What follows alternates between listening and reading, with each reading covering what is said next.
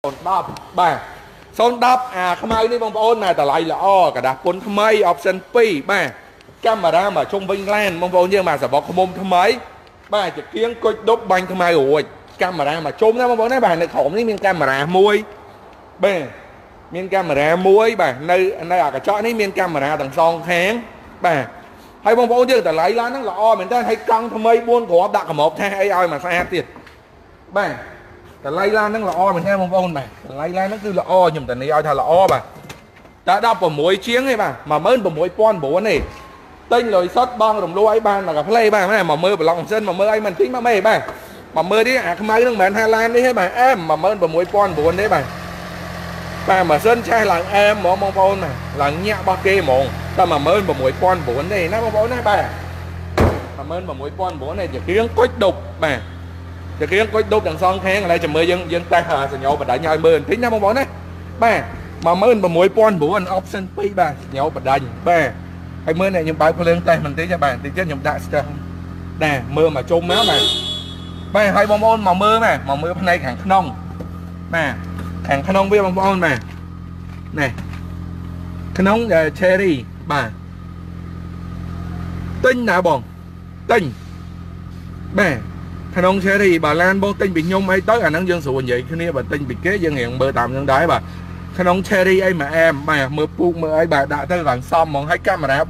360បាទនិយាយយើងនិយាយថាកាមេរ៉ាមកជុំវិញឡានណាបងប្អូនបាទបាទមើលក្រោយឯងឡើងច្បាស់ណានេះក្រោយមានចំហៀងបាទមើលពីមុខណាមានពីមុខណាបាទអានេះមានពីលើ view ពីលើមកបាទ view ចំហៀងណា view សងខាងបាទ view ពីមុខពេញបាទ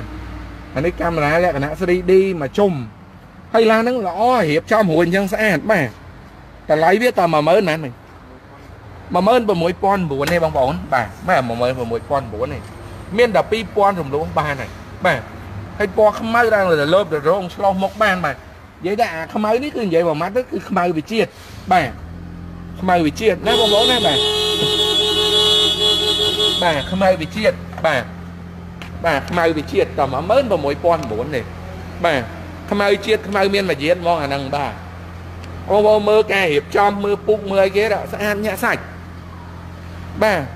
ទិញលុយសុតបងរំលោះឲ្យបានមកកផ្លេបាទ